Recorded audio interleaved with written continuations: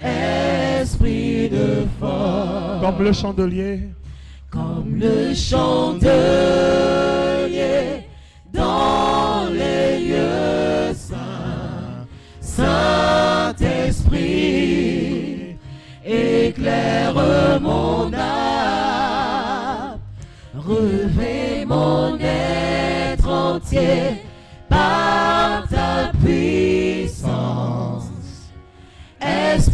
de haine, esprit de force. Esprit de haine, déverse sur moi et dans l'assemblée. Une huile fraîche. Une huile fraîche. Saint-Esprit. Saint-Esprit de haine, déverse sur moi l'assemblée. Une huile fraîche. Saint-Esprit. Saint-Esprit de haine, déverse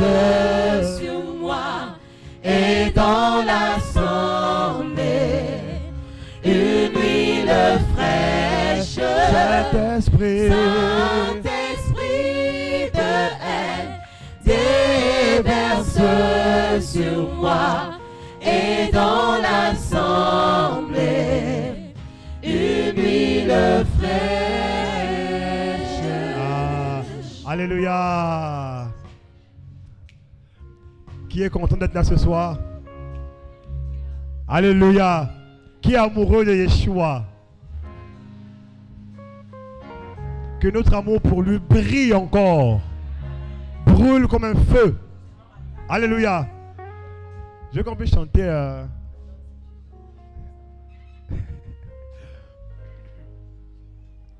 Combien elle est grande, de tout mon cœur? Je chanterai. Combien elle est grande. Oh,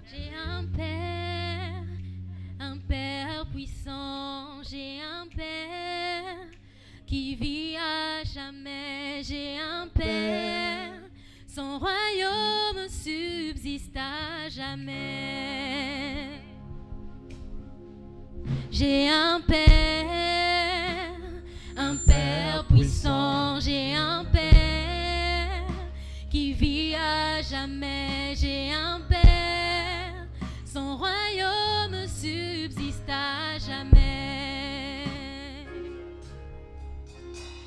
shit.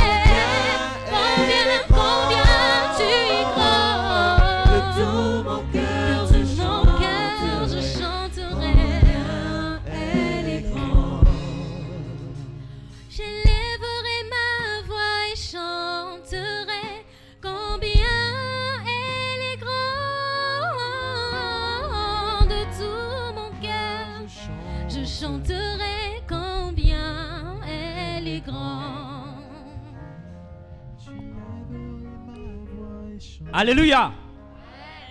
On est là? Alléluia. Est-ce qu'on peut l'acclamer? Il est vivant. Il est vivant. Il est vivant.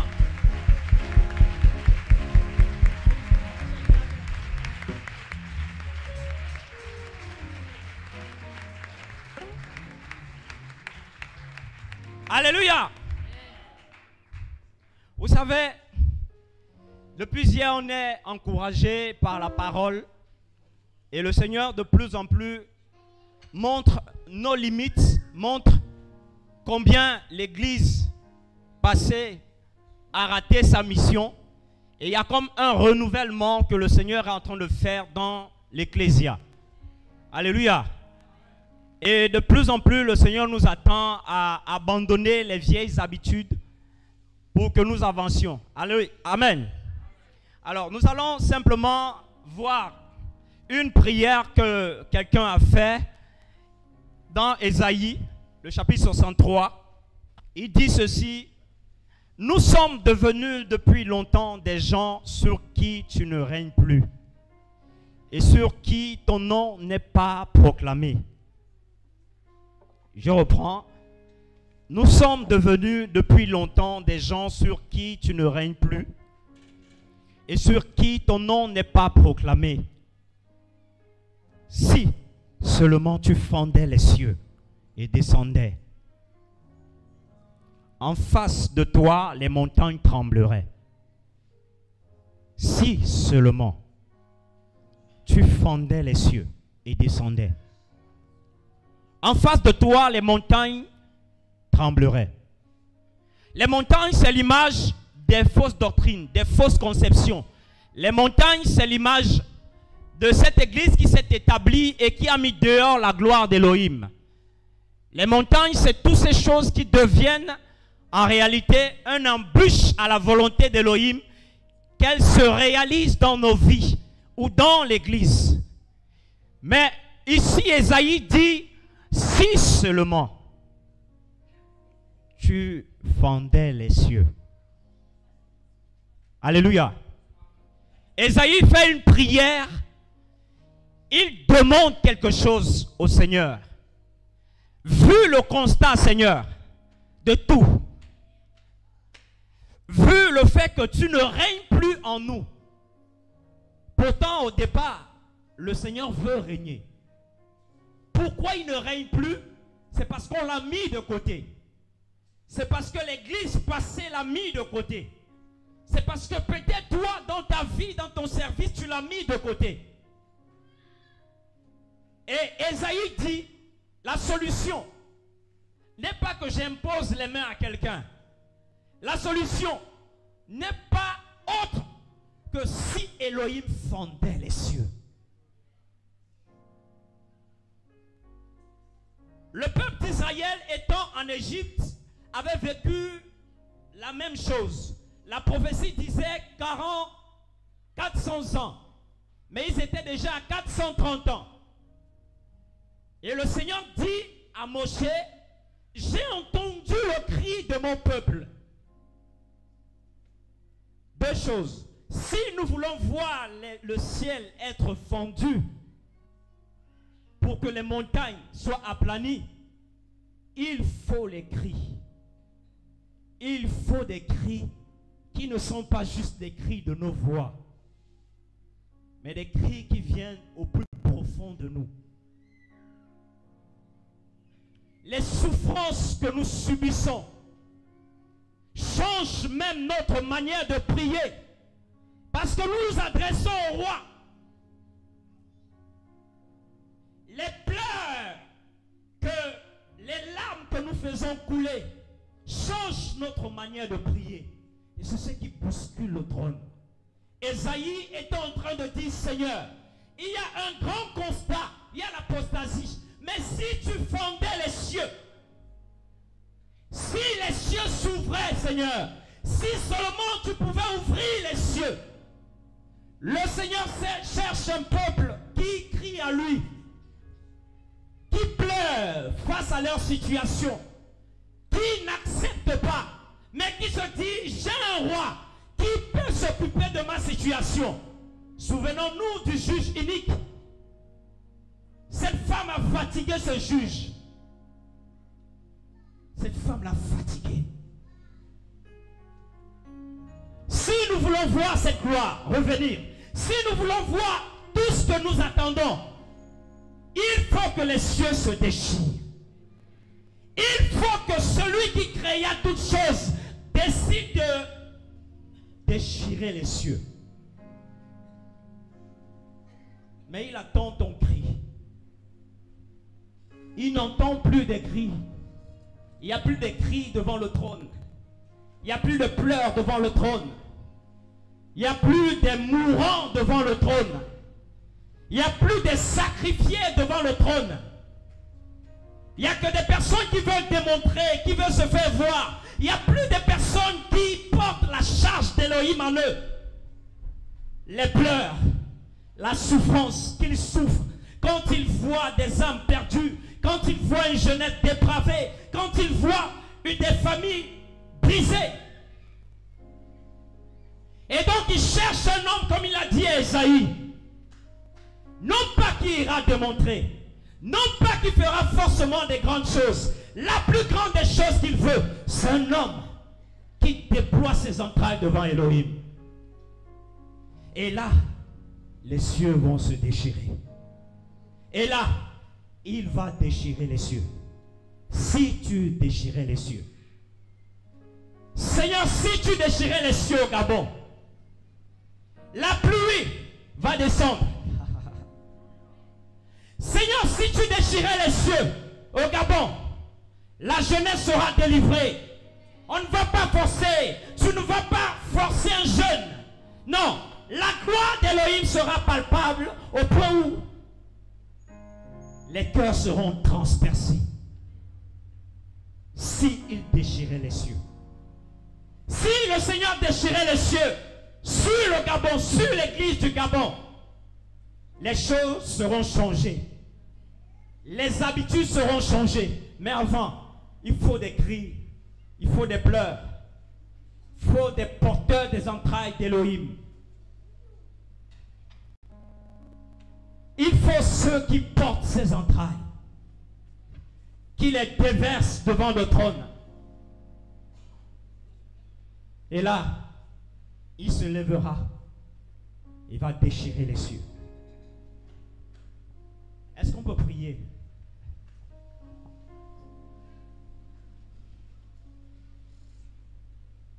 Père, nous voulons voir les cieux déchirés. Père, nous voulons voir cette gloire que tu as promis à l'Église.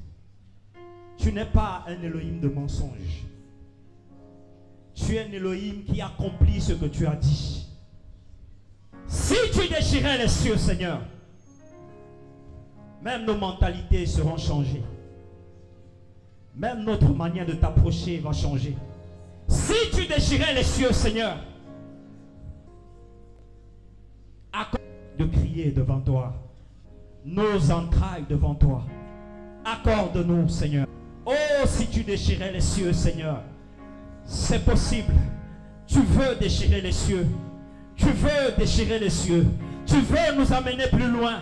Tu veux nous amener dans les hauteurs. Si tu déchirais les cieux, Seigneur. Si tu déchirais les cieux. Nous te prions, Seigneur. Accorde-nous de prier. Accorde-nous de répandre nos entrailles devant toi. Accorde-nous, Père. Et là, nous verrons la pluie. Nous verrons la pluie. Nous verrons la pluie, Seigneur.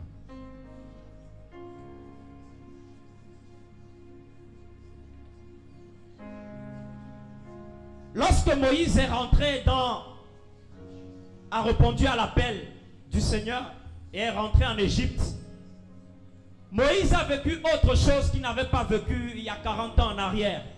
Lui qui a voulu à un moment sauver ses frères par sa propre force. Il dit, j'ai entendu le cri de mon peuple. Moïse avait reçu une parole du Seigneur et est venu. Si nous voyons les miracles qui ont accompagné le ministère de Moshe, nous nous rendons compte que le ciel était ouvert. Le ciel était ouvert. Quand il demandait qu'il y ait du feu, qu'il y ait tout ce qu'il demandait, le ciel était ouvert pour accomplir cela. Le ciel était ouvert. Et sur le Gabon, nous devons prier. Sur nos vies, nous devons prier que le ciel s'ouvre. Et là, nous verrons sa gloire. Là, nous toucherons à ce qu'il nous a dit par des prophéties. Ce qu'il nous dit dans les songes. Nous verrons et nous toucherons. Mais avant, il faut répandre ses entrailles. Il faut vivre le fardeau, le mal qu'il vit au-dedans de lui. Toi, tu penses que c'est. Il suffit juste de prêcher pour que quelqu'un soit converti. Le Seigneur lui pleure avant de sauver cet homme, de sauver cette femme, de sauver ce jeune. Il pleure dans son cœur parce qu'il sait où le mène le péché. Toi, tu veux démontrer. Le Seigneur lui saigne dans son cœur en voyant toutes ces personnes perdues. Et il veut te transmettre ses sentiments. Et là, lorsque tu porteras ces sentiments, le ciel s'ouvrira. Les cieux seront déchirés. Si le Seigneur entend les cris des hommes et femmes qui portent ces douleurs, qui portent ces entrailles, le ciel va se déchirer. Oh, le ciel va se déchirer. S'il entend des cris qui montent auprès de lui, des cris qui montent pour les repentances, pour les guérisons, des cris qui montent, non pas pour se démontrer, mais pour voir Elohim être élevé. Oh, si seulement le peuple du Seigneur pouvait saisir. C'est pas une affaire de toi, c'est une affaire d'Elohim qui mourra à la croix et qui versa son sang pour les âmes perdues. C'est pas ton affaire. Il t'a fait juste rentrer dedans. Suis la ligne, le ciel s'ouvrira. Suis le chemin, le ciel s'ouvrira. Et là, la gloire sera répandue. Et là, les autorités se convertiront. Ils auront la crainte parce que le ciel est ouvert. Frère, le ciel était ouvert sur Elia. Voilà pourquoi devant Akab, Akab tremblait. Le ciel était ouvert sur lui parce qu'il a dit, il ne va pas pleuvoir pendant trois ans et demi. Mais la Bible nous dit que cet homme était un homme de prière. Il répandait ses entrailles devant Elohim.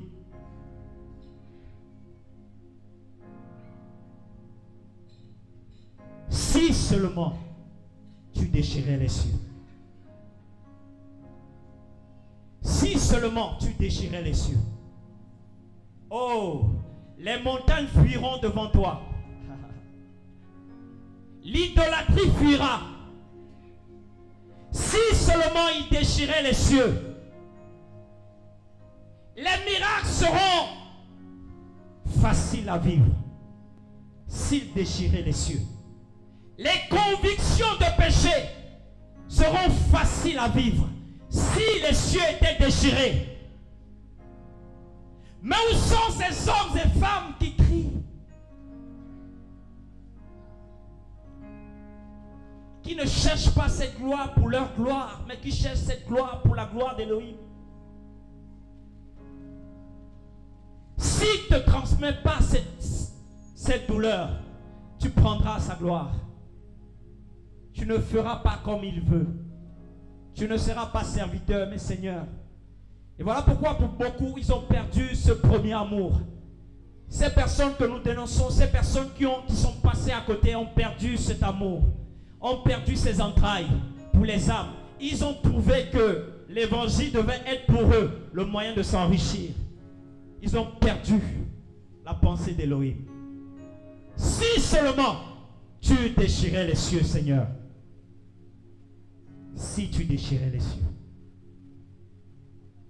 Si le Seigneur déchirait les cieux, tout sera changé. Même ceux qui veulent se démontrer, tout sera changé.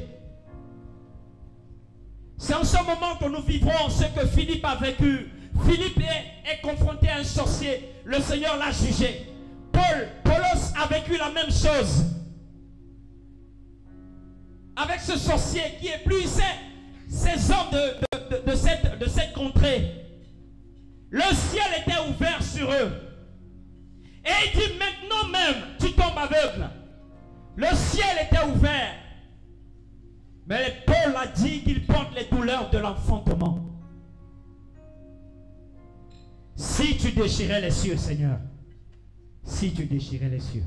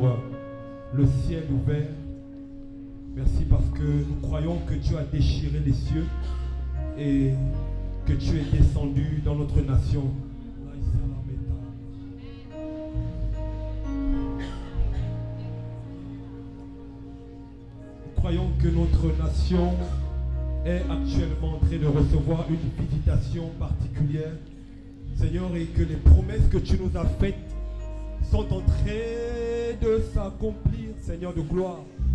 Et nous croyons, Yeshua, nous croyons vraiment que tu as déchiré le ciel. Nous croyons vraiment que le ciel est déchiré. Nous croyons vraiment que le ciel est déchiré, Seigneur. Et que tu es descendu. Oh, Yeshua, prends ta place. Oh, Yeshua, prends ta place. Yeshua, prends ta place. Dans nos cœurs, prends ta place, Seigneur. Est-ce que Yeshua peut prendre sa place ce soir? J'ai pas beaucoup de temps. Nous allons l'adorer avec nos cœurs. Yeshua, prends ta place. Eh. Yeshua, prends ta place. Au Gabon. Malheur prend ta place. Eh. Yoshua prend ta place. Oh,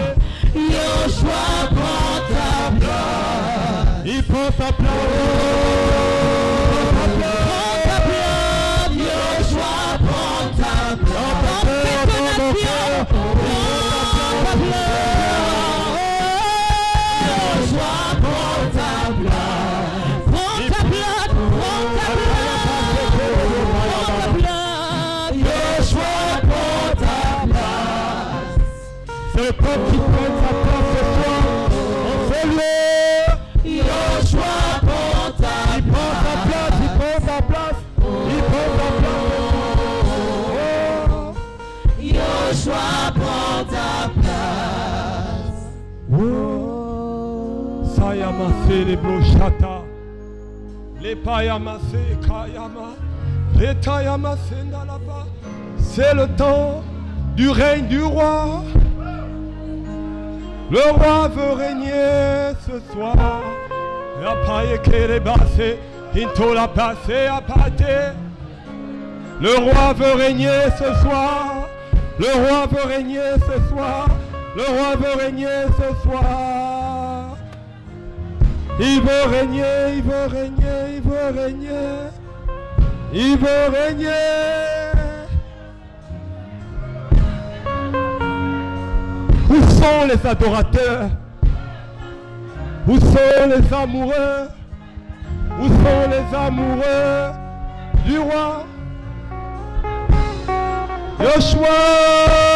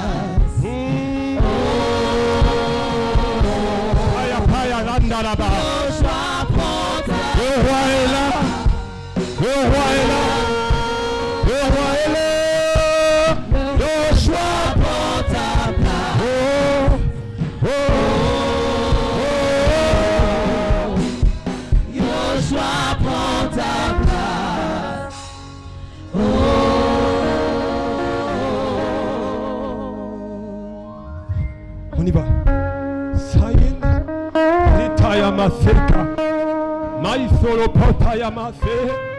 Ki andara paye sore kayama. Hitaya mase. Le roi, le roi est là. Le roi est là.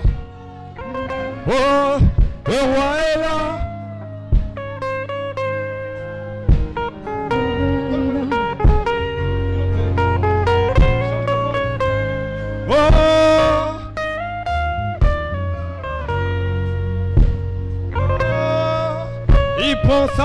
Ce soir.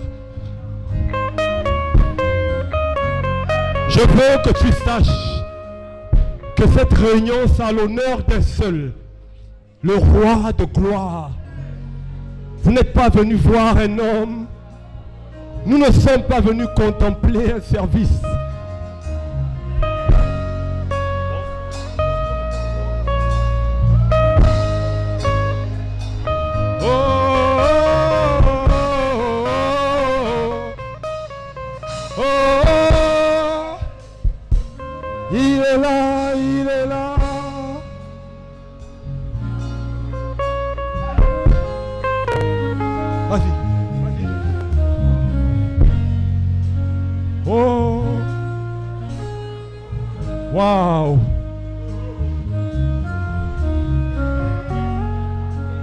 Le roi cherche des adorateurs, des hommes qui se tiennent devant lui et qui résistent dans la prière et qui luttent jour et nuit.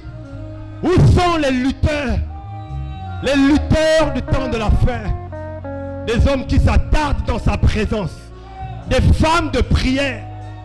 Des hommes et des femmes d'intercession qui aiment sa présence, qui chérissent sa présence, qui respectent sa présence. Oh, sa majesté est là ce soir. Quelle gloire.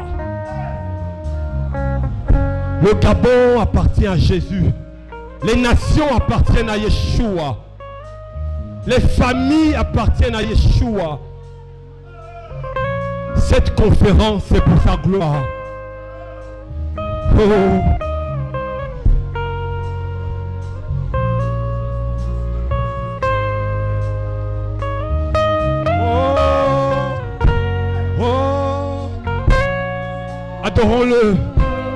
Parle, parle à ton Seigneur. Parle au Seigneur. Invite le Seigneur à nouveau. Invite-le dans ton cœur. Invite le Seigneur ce soir. Invite-le à prendre la place. La place dans ton foyer. La place dans la vie de tes enfants. La place dans ta maison. La place dans tes affaires. La place dans ta vie de prière. La place dans ton ministère. La place dans tes affaires. La place, la place, la place du roi. Oh, la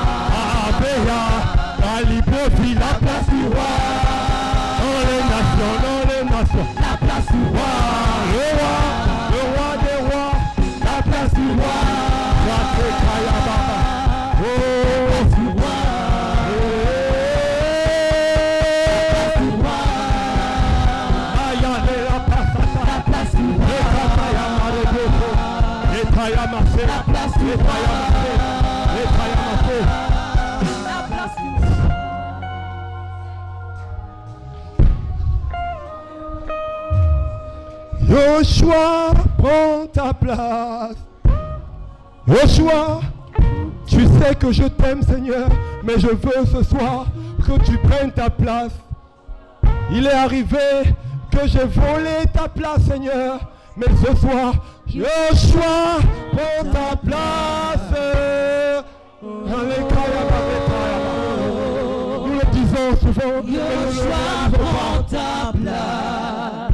Le ne le réalisons pas. Seigneur, écoute mon cœur. Joshua, prends ta place.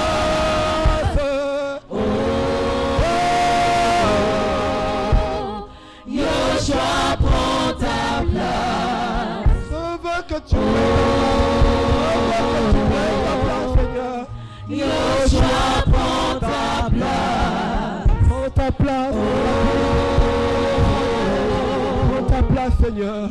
Joshua, prends ta Prends place. ta place, Seigneur, dans le ministère. Prends ta place, Seigneur, dans les affaires que tu m'as données.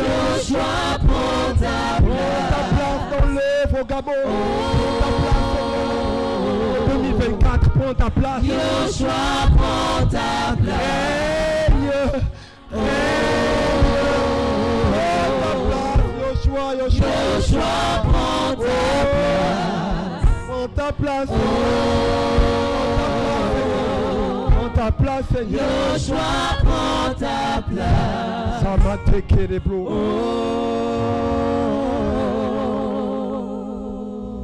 Joshua, prends ta place. Oh, oh, oh, ta place, Seigneur. Yaya, prends ta place ce soir. Prends ta place dans mon ministère. Prends ta place dans ce service. Prends ta place, prends ta place dans cette nation. Et prends ta place chez les politiques. Oh, oh, oh, oh, oh, oh. Prends ta place, prends ta place dans ma famille, mes projets, mes enfants, mon épouse. Prends ta place, et Joshua. Joshua, prends ta place, la place qui te revient. Prends ta place ce soir, Seigneur. Tu cherches des adorateurs qui t'invitent à prendre ta place. Prends ta place, prends ta place. et Prends ta place, Seigneur, car nous l'avons volé. Nous avons volé la place du roi.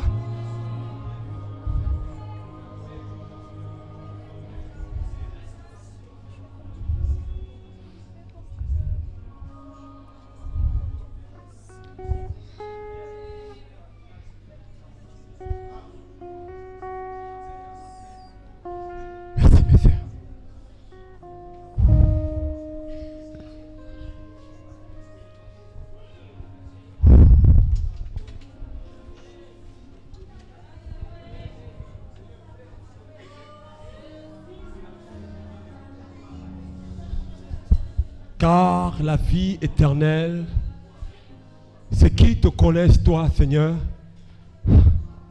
le seul vrai Elohim, celui que tu as envoyé, Yeshua, Mashiach. En définitive, Seigneur, tu veux que nous te connaissions. Alléluia. Waouh. Qui est là ce soir? Qui est au ciel ce soir Waouh. C'est un mystère. Nous sommes là, mais en même temps, nous sommes dans les cieux. Selon Éphésiens chapitre 2, verset 20, nous sommes assis dans les lieux célestes en Christ, Mashiach, Yeshua. Cette conférence, nous n'avons pas mis de titre particulier parce que nous nous attendons au Seigneur seul. Et comme je disais, j'ai un peu de temps. je voulais nous rappeler que le plus important, c'est connaître le Seigneur, c'est le laisser régner. L'évangile a fait beaucoup de religieux, malheureusement, à cause de l'état de nos cœurs. Ce qui fait que nous sommes passés facilement de la connaissance à l'orgueil, à la religion. Et la religion a pris beaucoup de place dans la relation que nous devrions avoir avec le Seigneur. La religion, c'est une manière de faire. Et le diable aime ça lorsqu'on devient des religieux, dans le sens péjoratif du terme. Parce que selon les Écritures, la religion sans tâche, c'est aimer son prochain.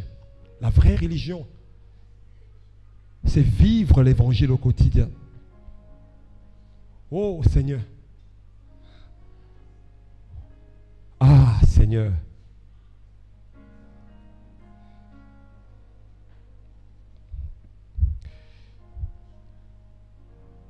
Lorsque m'a proposé d'intervenir euh, 30 minutes,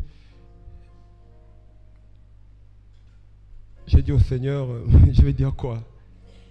Et tout de suite, il m'a dit, parle de ce que tu vois, de ce que tu vis, de ce que tu observes de façon générale. Et le constat que j'ai fait, c'est celui qui est dépeint dans l'évangile de Matthieu également. Chapitre 24, au verset 11 à 12, on nous dit que parce que beaucoup de faux prophètes vont se réveiller et ils vont égarer beaucoup de personnes dans le monde. Et au verset 12, on nous dit, et parce que la violation de la Torah, la, violation de la Torah va se multiplier ou sera multipliée, alors l'amour du plus grand nombre se refroidira. L'esprit du réveil, c'est un esprit d'amour. Alléluia. Lorsqu'on parle du réveil, il est question du retour au premier amour. On ne peut pas dissocier le réveil de l'amour véritable. Et selon le livre de Johanan au chapitre 10, 15 autant pour moi, il dit l'amour véritable consiste à garder les commandements du Seigneur. Alléluia. Or, les commandements du Seigneur, selon l'Écriture, ne sont pas pénibles. Si tu aimeras le Seigneur, ton Elohim, de tout ton cœur, de toute ta force, de toute ta pensée, et tu aimeras ton prochain comme toi-même. Sommes-nous vraiment réveillés Avec le degré d'insensibilité que nous observons dans les églises d'abord, sommes-nous vraiment réveillés? Sommes-nous vraiment réveillés Avec le taux de couples qui ne cesse de se détruire et ces personnes continuent de fréquenter des communautés chrétiennes, sommes-nous vraiment réveillés Alors est-ce que vraiment Yoshua a pris sa place dans nos maisons Est-ce que nous expérimentons vraiment l'esprit du réveil Je te promets, quand l'esprit du réveil, le Saint-Esprit vient sur quelqu'un, tu ne peux pas rester le même. Ce n'est pas possible.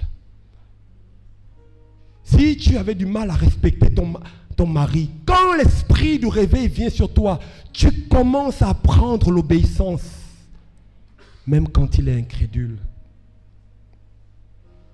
Quand l'esprit du réveil vient sur quelqu'un, il ne peut plus rester insensible à la souffrance et au cri de son prochain. Quand l'esprit du réveil vient sur quelqu'un, les yeux s'ouvrent. Sommes-nous vraiment réveillés? Ou est-ce que nous avons fait du réveil un slogan? Ou est-ce que nous ne sommes pas entrés à nouveau de vouloir faire de réveil un slogan? Nous sommes de ceux qui croient, je pense que vous également, que nous sommes actuellement dans une saison particulière dans les nations comme au Gabon. Le Saint-Esprit est en train d'envoyer des vagues, de plus en plus, des vagues, des vagues. Et plus le temps passe, plus des vagues sont grandissantes. Et les exigences de la justice du Seigneur vont aller crescendo dans la vie de beaucoup de personnes. Mais j'aimerais que l'on retienne une chose. Tout commence par l'amour du Seigneur. L'amour vis-à-vis du Seigneur. Est-ce que tu aimes à nouveau le Seigneur? Est-ce que tu es passionné d'être auprès du Seigneur? Est-ce que Jésus te manque souvent? Je vous promets, quand l'Esprit du Seigneur, l'Esprit de réveil vient sur quelqu'un, tu peux être avec les hommes 10, 15, 20 minutes, mais ton esprit est dans l'intimité avec le Père. Il n'y a pas assez de tu es connecté avec le ciel. Il y a quelque chose qui se passe au-dedans de toi. Ce n'est pas perceptible par les hommes, mais il y a le fruit qui émane de cela. On va te traiter de tous les noms, mais parce que l'esprit de réveil brûle en toi, je te promets, tu ne peux plus être le même. Ce n'est pas possible. Joshua prend sa place. Oh, oh. Prendre la place quand on invite le roi à prendre sa place. On l'invite à ranimer l'amour véritable dans nos cœurs. On l'invite à venir ranimer le feu, le feu du premier amour. Ce feu qui t'a attiré lorsque tu étais dans le monde. Quand tu étais seul dans ta chambre, tu pouvais passer des heures et des heures, prendre plaisir à manger le rouleau, la parole du Seigneur. Quand même on venait te déconnecter, tu avais du mal à répondre à l'invitation des hommes. Comme dans les Écritures, les disciples un jour ont cherché le Seigneur. Partout, ils se sont rendus compte qu'il était en prière. Mais Seigneur, nous t'avons cherché partout alors qu'il était en prière avec le Père pour nous montrer un modèle à suivre. Frère, nous devons aimer la présence du Seigneur beaucoup plus que celle des hommes. Alléluia. Un des signes que l'esprit du réveil est venu sur toi, c'est quand tu aimes la présence du Seigneur. Il y a une telle sensibilité qui anime ta vie au quotidien, au travail. Quand tu poses une parole mal placée, même si tu tournes le dos, quelque chose t'interpelle, va corriger. Alléluia. Il arrive qu'on fasse des erreurs. Il arrive qu'on soit insensible parce que nous sommes des hommes. Alléluia. Nous sommes des hommes. Voilà pourquoi on a besoin des uns et des autres. Néanmoins, l'Esprit du Seigneur nous enseigne toutes choses. Alléluia l'esprit du réveil. Et parce que l'iniquité sera accrue, l'amour du plus grand nombre se refroidira. Je vous informe que les païens n'ont pas l'amour véritable. Il est question ici de l'abandon de l'amour, ce qui concerne les vrais enfants du Seigneur. Ce passage s'adresse à ceux qui ont l'esprit du Seigneur. Parce que les païens n'ont pas l'amour. Si tu es là et que tu n'as pas encore fait la paix avec le Seigneur, je t'annonce que tu n'as pas encore reçu l'amour du Seigneur. L'amour du Seigneur, c'est le Saint-Esprit. C'est la parole du Seigneur. Ça veut dire que nous sommes dans une génération où beaucoup de disciples ne vont pas quitter les églises comme quelqu'un le disait le week-end dernier, mais ils vont quitter la foi en continuant de rester dans les assemblées sans amour. Que le Seigneur restaure notre sensibilité vis-à-vis de lui et de notre prochain.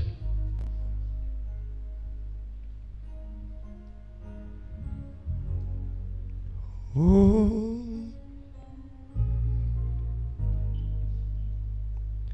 Yoshua prend ta place. Oh. Tête et tu parles au Seigneur tout simplement. Demande au Seigneur de restaurer le premier amour en toi. Yoshua prend Oh. ta place.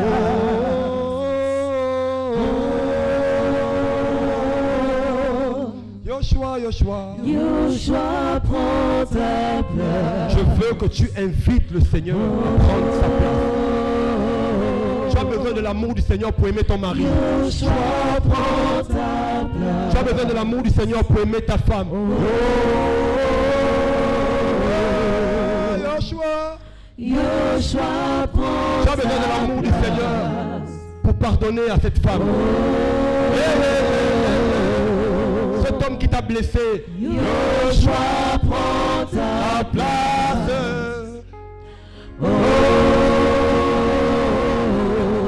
l'amour du Seigneur pour aimer ton prochain. Prends Prends ta place. Oh,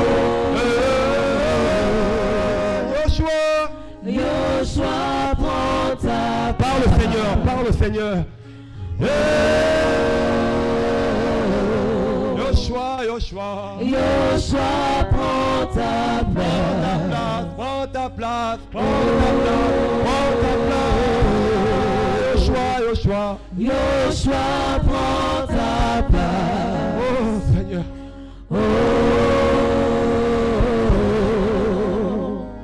Yoshua, prends ta Parle, parle, parle au Seigneur, parle au Seigneur, parle au Seigneur. N'attends pas une heure particulière, parle au Seigneur. Prends ta Prends ta place, prends ta place, prends ta place, prends ta place.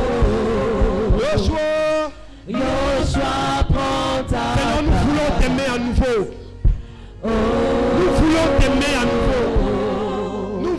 t'aimer à nouveau. Yoshua, prends ta place. Je veux pardonner, je veux aimer, je veux supporter mon prochain. Je veux aimer mon prochain. Yoshua, prends ta place. Je veux supporter mon prochain.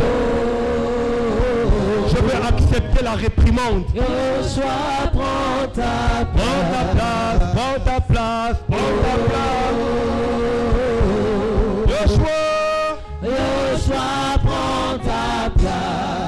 Seigneur, parle au Seigneur. Que l'esprit du réveil anime à nouveau ta vie. Que l'esprit de réveil vienne sur toi. Que l'esprit du réveil te relève ce soir. Que l'esprit du réveil te touche ce soir. Prends un engagement à nouveau. Prends un engagement place, prends ta place, prends ta place.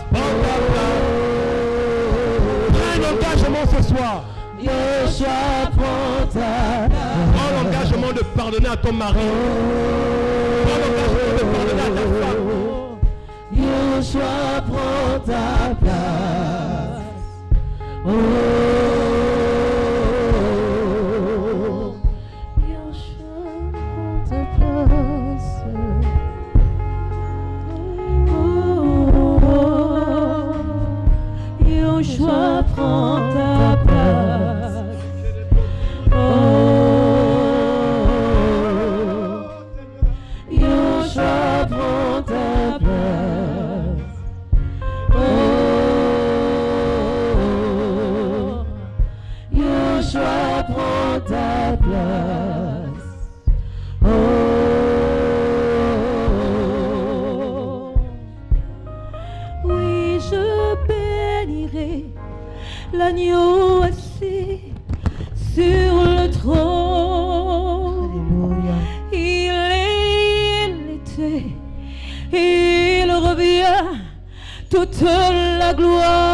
Sa majesté à jamais, à jamais.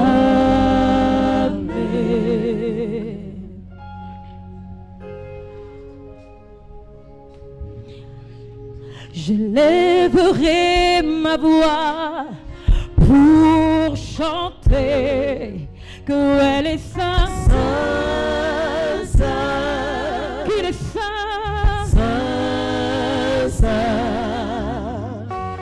toi Seigneur de ma vie, à mon sauveur et mon roi, tu es saint, saint, saint. Est-ce qu'on peut se lever pour ceux qui peuvent?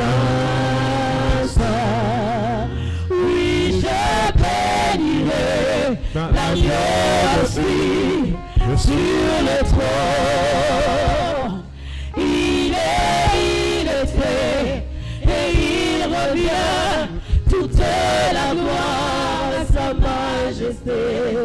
À jamais. À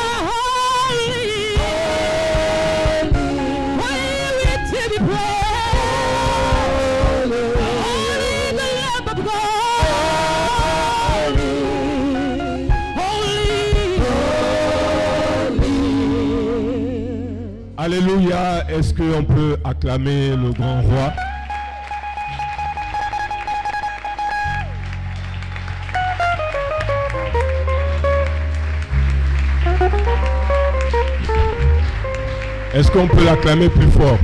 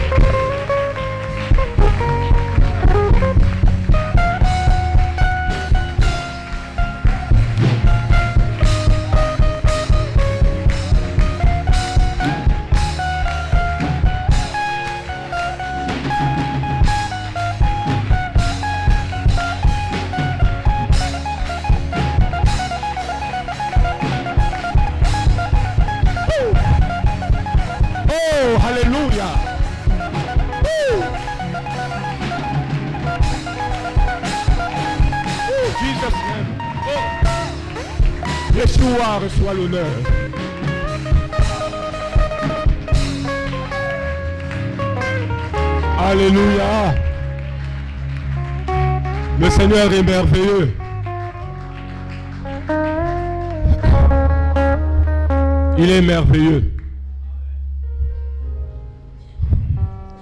Même l'éternité ne sera pas suffisant pour l'adorer, pour l'élever. Ce ne sera pas suffisant. Il est tellement glorieux, il est tellement magnifique. Il a accompli des grandes choses pour chacun de nous. Ne l'oublie jamais. Jamais. Il faut savoir pourquoi tu applaudis. Moi, je sais pourquoi j'applaudis. Tu dois savoir aussi pourquoi tu applaudis. On n'est pas un spectacle. On n'est pas un concert. C'est pendant les concerts qu'on applaudit les artistes. Mais la différence ici, c'est que nous glorifions un seul nom. C'est qui ce nom? Yeshua Mashiach, Jésus-Christ. C'est lui seul que nous élevons. Lui seul. Amen. Est-ce que tu peux saluer ton voisin? Peut-être il y a des ennemis dans la salle, donc euh, c'est le moment de faire la paix. hein. Donc saluez-vous les uns les autres. Comme ça, les ennemis là, ils vont faire la paix. C'est là on va voir si ton cœur là est. hein. Ne fuis pas, hein. ne, fuis pas les gens. Tu as dit, oh, la fille là, elle me doit. Aujourd'hui, là, tu vas me rembourser. On se salue dans l'amour du Seigneur.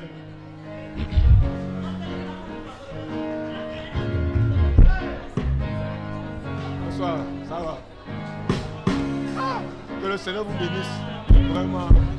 Que le Seigneur vous bénisse, quoi. Ah, ma soeur. On se salue là.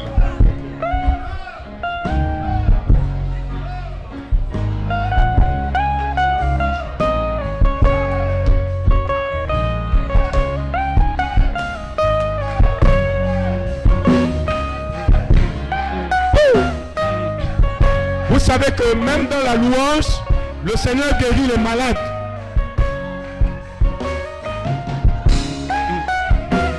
Même si on ne t'impose pas les mains, le Seigneur lui-même va te guérir.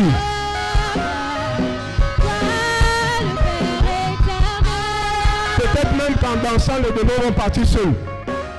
Sur la terre et dans les cieux, ton royaume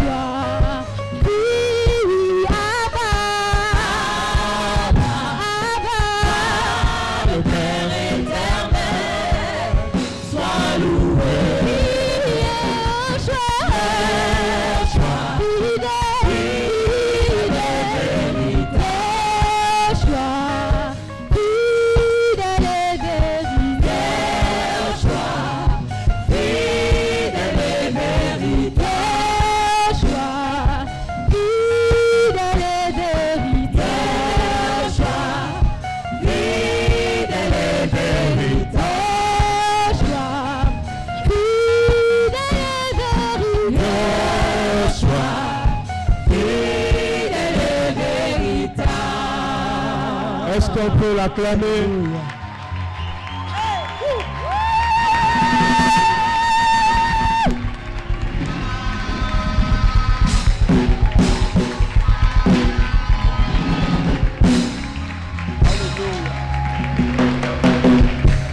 Seigneur est merveilleux. Asseyez-vous. Vous savez, le Seigneur est tellement merveilleux, comme je disais tout à l'heure, que même quand le Seigneur guérit, parfois tu ne te rends même pas compte. Avec le Seigneur, on constate. On constate seulement. On ne ressent pas quelque chose, mais tu constates que je suis guéri. Amen. Dis avec le Seigneur, on constate. Dis à ton voisin, tu vas constater. C'est tout Est-ce qu'on peut l'acclamer?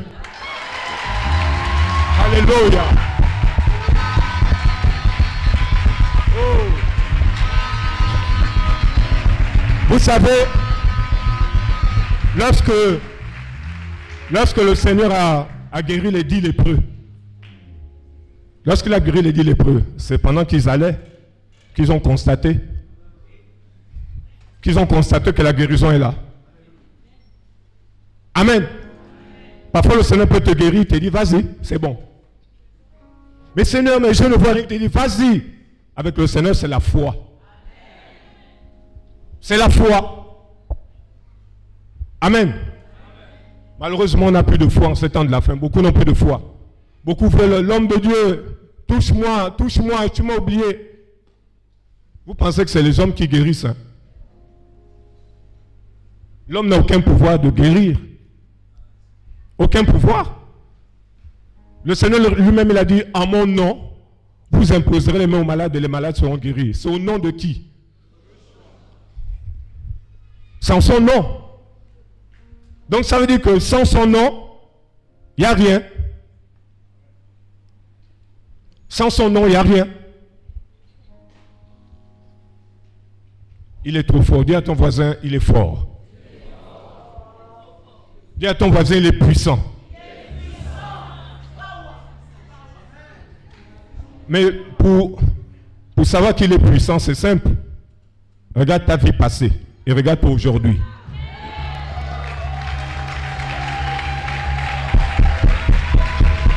C'est tout. Et, le Seigneur m'a amené à parler justement de ça. Si donc le Fils vous a franchi, vous serez réellement libre. La vraie liberté. Est-ce qu'on peut prendre Jean 8 Jean 8 à partir du verset 31 jusqu'à 36.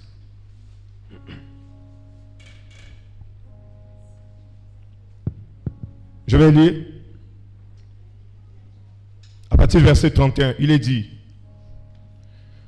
Yeshua, Jésus, donc disait aux Juifs qui avaient cru en, cru en lui, si vous demeurez dans ma parole, vous serez vraiment mes disciples.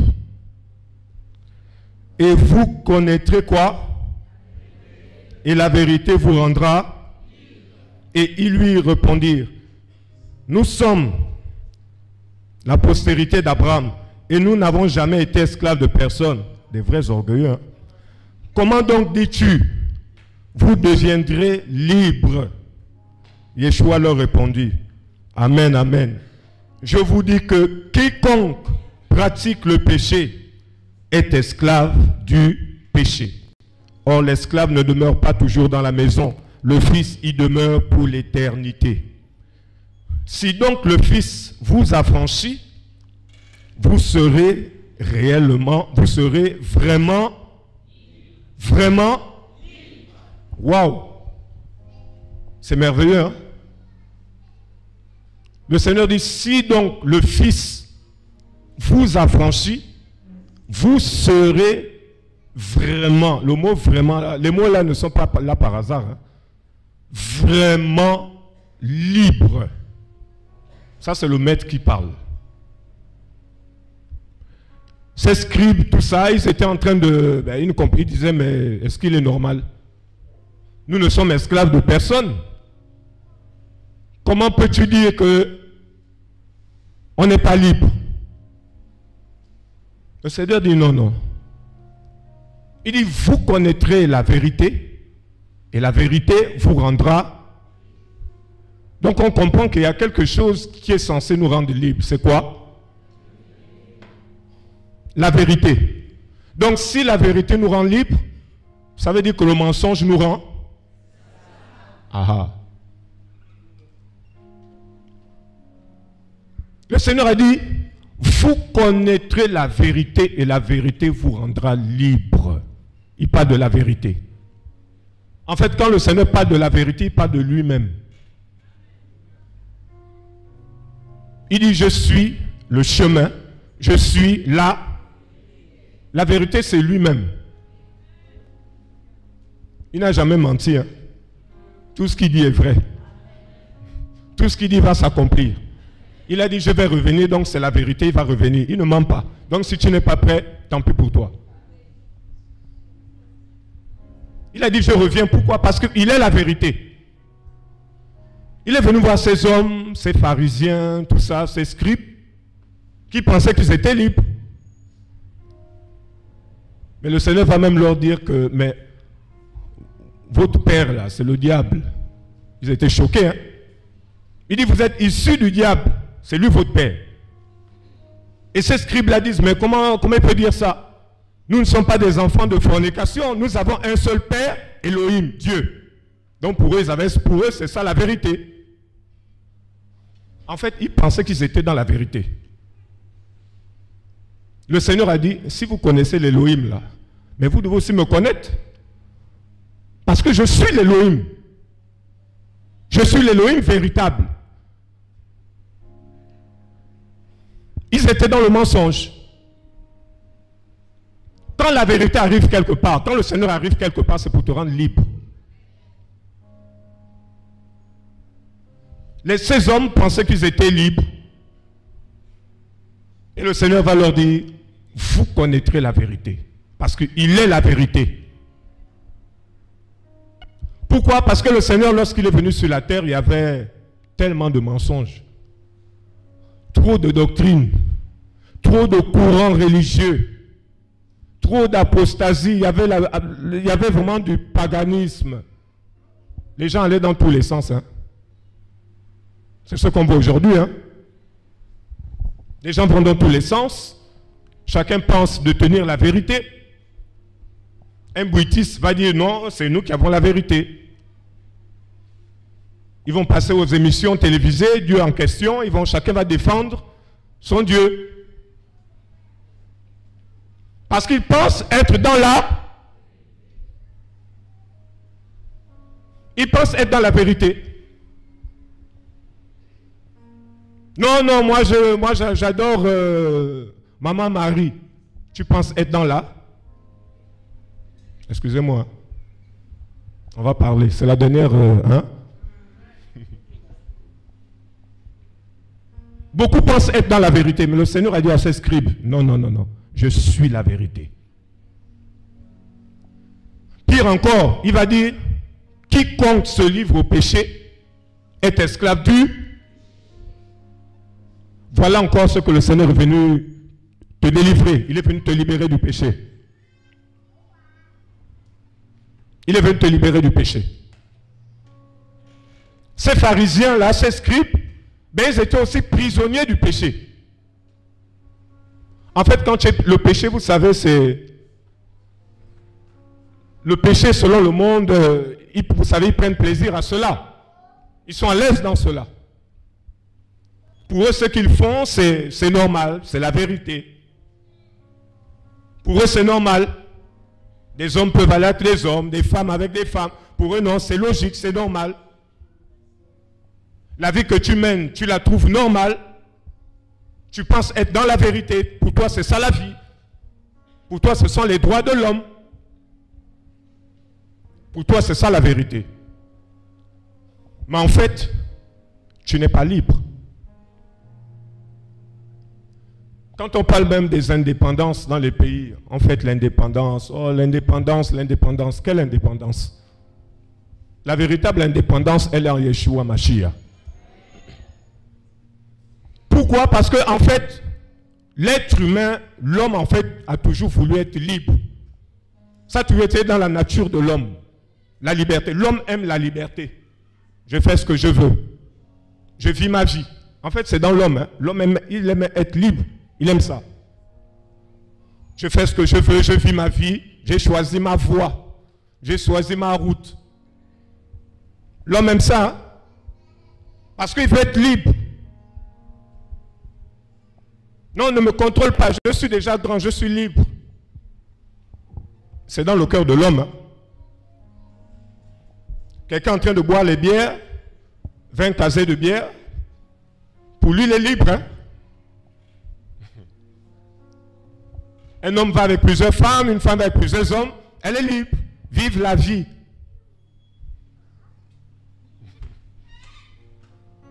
Vive la vie. On ne vit qu'une seule fois. Et maintenant, toi, lorsque tu rencontres le Seigneur, lorsque tu abandonnes cette vie-là, on pense que c'est toi qui es esclave. Mais pourquoi tu ne... Vous voyez un peu le contraire. hein? C'est toi maintenant qu'on traite d'esclave et les autres sont libres. Parce que tu ne vas plus en boîte, on dit que tu es esclave maintenant de, de ton Jésus. Là, c'est un bon esclavage. Vous voyez la confusion? Toi qui as abandonné les pratiques satanistes, tu as abandonné la sorcellerie, tu es maintenant persécuté, persécuté, persécuté. Et les gens disent non, toi là, tu n'es pas libre. On t'appelle tous les soirs, allons en boîte de nuit, on va danser, tout ça. Non, je ne peux pas venir. Oh, pourquoi tu ne peux pas venir? Mais je me suis converti, j'appartiens maintenant au Seigneur. Oh, toi aussi, avec tes histoires de Seigneur là. Ces personnes pensent que tu es esclave. Mais en fait, c'est toi qui es réellement libre. C'est toi qui es réellement libre. La véritable liberté. Voilà pourquoi lorsque le Seigneur était venu, lorsqu'il est venu sur la terre, il avait aussi cette mission principale de libérer les hommes non seulement du péché. Il y a la mort, mais aussi la loi, les traditions des hommes. Il est venu nous libérer de beaucoup de choses. hein. Parce que l'être humain, s'il n'y avait pas le Seigneur là, on, aurait même adoré les, chaussures. hein. Oui Tu vois la lumière là, tu te prosternes maintenant comme ça. Oh, éclaire-moi, vraiment, lumière. Mais l'être humain est comme ça. Parfois, tu regardes même un bois, tu dis, mais les gens adorent, il y a quoi dans le bois là? Les gens adorent le bois, ils commencent à faire un vis, ils font même des yeux sur le bois. Et ils se prosternent. Et le Seigneur dit, ce sont des idoles. Ils ont des yeux, mais ils ne. Ils ont des oreilles, mais tu vas crier, crier, sauve-moi. Ils ont des oreilles, les oreilles que toi-même tu as placées. Mais ils n'entendent pas. Ils n'entendent pas.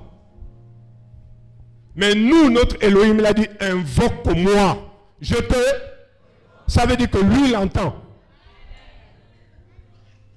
Il entend. Parce qu'on est libre maintenant de l'invoquer. Quand tu étais esclave, tu ne pouvais pas l'invoquer. Là maintenant, tu as cette liberté de l'invoquer. Es-tu réellement libre? Le Seigneur a dit, vous connaîtrez la vérité. Parce que la vérité libère. La vérité libère. Le Seigneur a dit au scribe, il a dit, Satan le père du mensonge. Il dit le père. Donc le papa du mensonge, là, c'est le diable. Le papa de fausse doctrine, là, c'est le diable. C'est le diable. Le père du mensonge. La vérité rend libre.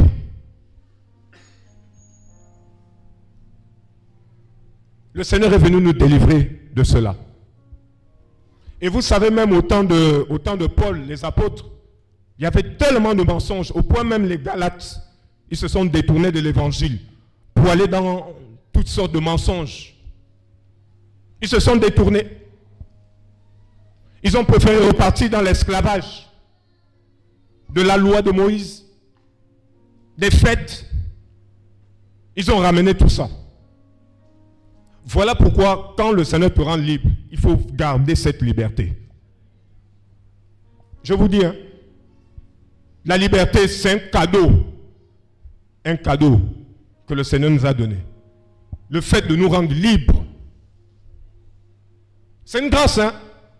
Souvent, vous ne réalisez pas, mais c'est une grâce d'être libre. Moi, aujourd'hui, euh, même s'il y a des, des bars là, je suis fier de passer, je passe ma route.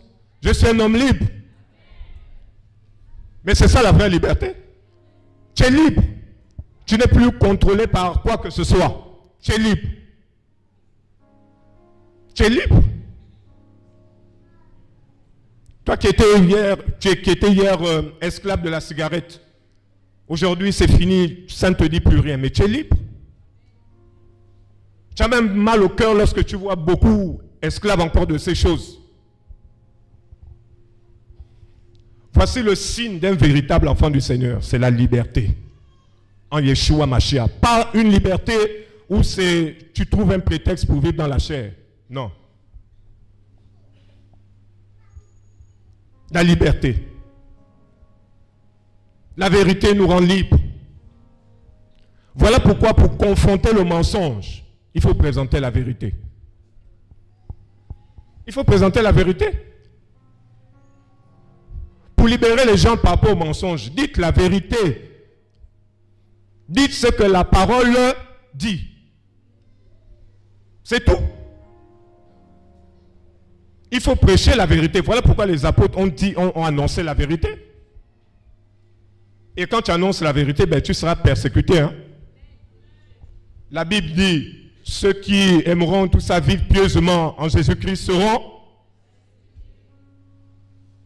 La vérité, quand tu annonces la vérité, mais c'est des combats. Le Seigneur est passé par là. hein. Il a dit la vérité. Il est venu montrer aux pharisiens, à ses scribes, mais vous êtes dans l'erreur. Vous êtes dans l'erreur. Moi, je suis la vérité, je rends libre. Vous êtes dans la loi. La loi ne peut pas vous rendre libre, ça vous rend prisonnier. La preuve, c'est que dans le temple, il y avait une femme qui, hein, 18 ans là. Elle était courbée. Hein. Pendant 18 ans, vous connaissez l'histoire, non? La femme veuve là, elle est rentrée, euh, la femme infirme, 18 ans, dans le temple. Le temple où on est censé parler de la Torah. On est censé parler des choses de la loi. Mais pendant 18 ans, elle était courbée. Mais il y avait des chefs religieux dans le temple. Ils n'ont pas pu la rendre libre. La loi, là, ça ne rend pas libre. hein. Il fallait que le Seigneur lui-même apparaisse dans le temple. Et la femme qui était courbée pendant 18 ans, le Seigneur lui a dit, redresse-toi. Quand la vérité arrive, ça te redresse. La vérité redresse, ça te remet sur le droit chemin. Elle s'est redressée. 18 ans d'esclavage. Elle est là. 18 ans. La pauvre. Le Seigneur a regardé et dit Waouh. Non, j'aime le Seigneur. C'est-à-dire, quand il arrivait quelque part, il y avait toujours la solution. Il a redressé cette femme. Elle s'est redressée. Et les religieux, là, ils étaient fâchés. hein. Ils se sont fâchés. Ils ont dit, mais comment tu peux faire ça un jour de Shabbat? Oh Ils sont en colère. Donc ils préfèrent, les religieux, c'est ça, hein? ils préfèrent vous voir posséder. Le plus important, c'est que tu donnes ton argent. Tu es là, c'est moi, quoi. Oh, pardon. C'est ça les religieux, hein? Ils veulent juste que, voilà, tu sois, tu donnes ton argent. Mais reste courbé. Pendant 18 ans, elle a souffert. Lorsqu'elle a rencontré la vérité, oh là là, le soulagement. Voilà pourquoi le Seigneur est venu apporter le soulagement dans nos vies. Il est venu nous soulager. Une maladie qui t'a fatigué depuis des années, des années, le Seigneur vient et te soulage. Quand la vérité arrive quelque part, il te rend libre. Voilà pourquoi le Seigneur, la Bible nous dit qu'il est là partout pour faire du bien, pour guérir les malades, pour libérer. Oh le Seigneur, vous connaîtrez la vérité et la vérité vous affranchira. Oui, la vérité affranchit. Hier, on t'a prêché des doctrines bizarres, des doctrines compliquées. Quand tu entends l'évangile véritable, le message de l'évangile véritable, mais tu es libéré. Quand on, entend, quand on entend la vérité, là, ça, ça bouillonne en nous. hein. Si tu es dans une assemblée où on prêche tout et n'importe quoi là, mais tu vas sortir. Tu vas même dire au pasteur, mais non, non, là je ne suis pas d'accord. Il va dire, ben, si tu n'es pas d'accord, ben, il faut sortir. Mieux vaut sortir et être du côté de la vérité. Je préfère être du côté de la vérité que d'être du côté du mensonge. Il est venu nous libérer. Même des fausses doctrines, il est venu nous libérer. Des traditions, il est venu te libérer. Tout le 1er, le 1er, novembre, tu es tout le temps là, hein, au cimetière. Toussaint, tu prépares toute la nuit, tu vas donner à manger. Dis à ton voisin, tu vas donner à manger à qui? Les cimetières deviennent déjà comme euh, hein, des restaurants. Et ils sont sérieux quand ils sont là au restaurant, quoi. Avec tous les plats, les fantas, les coca. Vous êtes tenté de communier avec les esprits des morts. Hein? Donc le Seigneur est venu aussi nous libérer de ça. Quand tu rencontres la vérité, il te libère aussi de la Toussaint. Mais oui, il nous a libérés. Même nous autres dans nos familles, là, on nous dit, oh mais, hein, on tape. Souvent, moi-même, souvent les gens à l'époque, on m'appelait, hein. mais c'est le 1er novembre, vraiment. Je dis, ah, moi, je suis libéré. Quand tu es libéré, tu ne forces plus. Tu dis, Seigneur, merci Seigneur. Il est venu aussi te libérer des fêtes du 31 décembre. Ah, beaucoup se reconnaissent. Hein? Bon, pas de la liberté. Hein? Tous les 31, tu fais des grosses dépenses, des millions, tout ça, tout ça. Bonne année. Le lendemain, le gaz est fini, il n'y a plus à manger. Tu te rends compte que, ah, là, c'est compliqué. Hein? Le Seigneur est venu te libérer des bonnes années. Il est venu te libérer des bonnes années.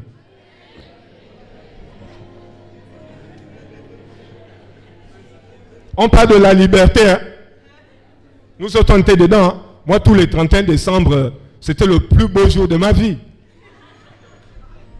Je dois traverser. Il est venu te libérer de la nuit de la... Ah Tu traverses, tu traverses, tu traverses. Le Seigneur te libère ce soir. Il faut traverser pour aller dans le royaume. On parle de la liberté. Tu as dépensé tout ton argent, tout ton argent 31 décembre. Pourquoi tu te fatigues? 31 décembre, c'est un jour comme tout autre. Nous, on attend le Seigneur. Hein. Nous, on n'est plus dans vos choses là. Nous, on attend le Seigneur. Vous voyez que quand un homme est libéré, quand, le Seigneur t'a rendu libre, ces choses-là, ça ne te dit plus. Ça ne te dit plus rien. Tu te dis même, mais comment je me prenais la tête avec ces choses-là? 31 décembre, c'est quoi? Tu vas finir tout ton argent, tout ton argent. Et le 1er janvier, tu te rends compte que le mois de janvier est long. Tu commences à... Mon frère, tu n'as pas 500 là. Les gens qui vous demandent trop l'argent en janvier là, vous faites attention. Hein. Frère, prête-moi 1000 francs. Tu me demandes ça le 1er janvier là, c'est suspect. Hein. Amen. La liberté. Il nous a rendus libres. Oh, c'est merveilleux. Et dans cette liberté, il nous libère même des passions. Les passions. Tu te dis libre, mais tu es tellement passionné de, je ne sais pas, du foot, du basket, c'est pas mauvais, mais quand ça devient trop excessif, tu n'es plus libre. Tu n'es plus libre. Il y avait une histoire où un jeune avait tué son, son ami à cause d'une histoire de match de football. Il s'entretue. Là, c'est plus bon. On peut glorifier le Seigneur par ses sports, mais quand maintenant, ça devient maintenant ton idole, tu n'es plus libre. Faisons attention à tout ce qui veut prendre la place du Seigneur dans nos cœurs. La liberté. Il est venu nous rendre libres. Parce que vous savez, il est venu libérer les hommes dans le monde, mais même dans l'église, hein, il y a aussi les esclaves là-bas. Ils sont même les plus nombreux. hein. Il est venu libérer dans le monde, mais dans l'église, c'est chaud. Et l'apôtre Paul avait averti. hein. Il dit, se lèvera des faux prophètes qui vont séduire. Il se lèvera. En grec, c'est Jairo, c'est-à-dire pas du réveil des faux prophètes. Il y aura un réveil des faux prophètes. Une résurrection des faux prophètes qui vont séduire, qui vont annoncer, parler du mensonge. Et les gens vont croire au mensonge, au mensonge. Voilà pourquoi tu dois être attaché à la vérité pour ne pas tomber dans le mensonge. C'est la vérité. Si tu n'es pas attaché à la vérité, qui est Yeshua, Mashiach, Jésus-Christ, tu es séduit. Le Seigneur est venu nous libérer. Il est même venu libérer les prédicateurs, hein. les pasteurs, les, les évangélistes, les bishops. Il est venu les libérer. Hein. Mais oui, parce que c'est aussi, il y a beaucoup qui sont aussi prisonniers. Souvent, vous voyez certains, quand ils prêchent euh, malgré la chaleur, ils sont costume, cravate. Souvent, ce n'est pas de leur faute. C'est l'esclavage. c'est l'esclavage. Parfois, ils n'ont pas le choix. Ils sont obligés d'aller s'embêter. Alors que le Seigneur est venu te rendre libre. Il est venu te dire, mon cher, ne te fatigue pas, sois simple. La liberté. Il est venu nous rendre libres. Le monde, vous savez, le monde a toujours voulu être libre. Si vous voyez même euh, les histoires dans le monde, euh, certaines nations comme la France, on va vous parler de la révolution, tel pays, on va vous parler de telle guerre, tout ça. Les gens ont toujours lutté pour la liberté. Ils ont toujours lutté pour la liberté. Les gens, frères et sœurs, les gens veulent être libres. Parce qu'ils aiment ça, ils aiment la liberté. Voilà pourquoi il faut faire comprendre au monde que la véritable liberté, c'est en Jésus-Christ, Yeshua, Mashiach. C'est la véritable liberté. Voilà ce qu'il faut annoncer au monde. Que tu n'es pas libre. Sans le Seigneur, tu n'es pas libre. Toutes les personnes qui n'ont pas le Seigneur dans leur vie, dites-vous qu'ils ne sont pas libres. Même s'ils sont intelligents, même s'ils sont beaux, elles sont belles, elles sont, ils ne sont pas libres. Ils ne sont pas libres. C'est beau de respirer la liberté dans le Seigneur. C'est beau. Et tu verras que quand tu vas respirer cette liberté, mais tu vas voir comment les gens feront tout pour te ramener dans l'esclavage. C'est ça le danger. Quand tu es libre, ils feront tout pour te ramener en esclavage. Voilà pourquoi la Bible dit c'est pour la liberté que le Messie, Yeshua Mashiach, nous a affranchis. Il nous a affranchis, c'est pourquoi? La liberté. Est-ce que tu es vraiment libre là? Est-ce que tu es réellement libre? Celui qui est libre, le péché n'a plus de pouvoir sur lui. Ça n'a plus de pouvoir. Parce que tu es libéré. Tu es libéré. Le péché ne peut plus régner en toi. Ça ne peut plus s'asseoir. Parce que quand tu étais dans le monde, le péché régnait. Quand on parle du règne, c'est que le péché avait un trône. On ne règne pas sans trône. Le péché régnait en toi. C'était assis. Le péché, c'était assis. Voilà pourquoi le Seigneur est venu, c'est pour te libérer. Avant de te libérer, qu'est-ce qu'il a fait? Il fallait d'abord que l'homme fort soit lié. Vous connaissez l'homme fort? Parce que l'homme fort, là, il retenait beaucoup de captifs. Nous tous, là, on était là-bas, chez l'homme fort. Personne ne pouvait aller te rendre, te libérer, hein, personne. Parce qu'il y avait un homme fort qui te retenait captif.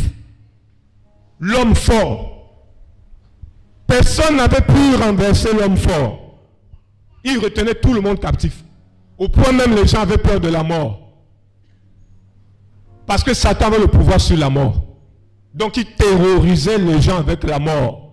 Tu boudes, je te tue. Eh, pardon.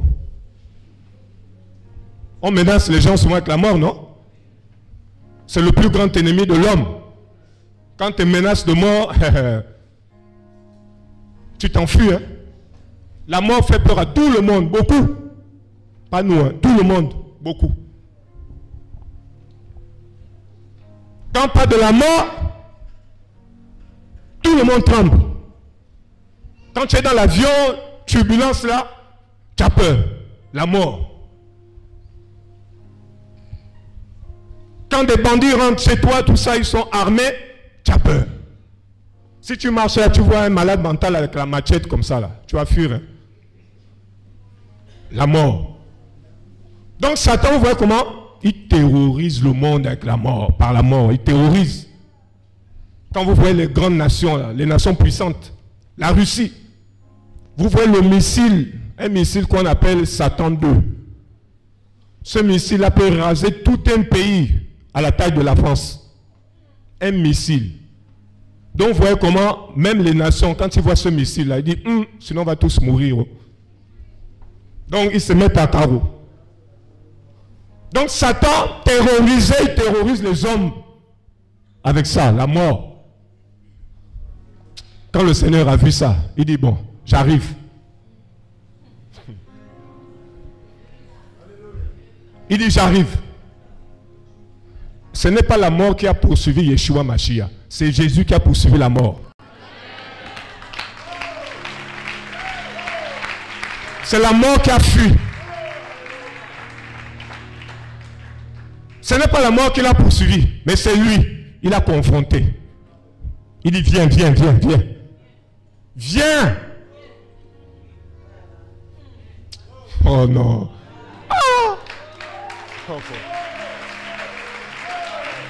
La liberté. Il est venu comme un simple homme. Mais en lui, il transportait quelque chose d'exceptionnel. Les gens l'ont négligé. Pourquoi les gens vont te négliger? Oh, qui es-tu? Oh, toi, tu es qui? Ah bon? Quand l'esprit en toi, tu es quelque chose. Le Seigneur est venu simple, on ne pouvait même pas le reconnaître. On ne peut pas le reconnaître, il est où, il est où, il est où? Obligé de prendre euh, Judas, tout ça, bon, va faire une bise, tout ça, pour savoir que c'est lui. Il fallait un signe parce que les gens sont venus avec les bâtons. On va le tuer, on va en finir avec lui. Il était calme. Parce qu'il avait rendez-vous avec le plus grand ennemi de l'homme. Il dit, vous, vous là, c'est les enfants.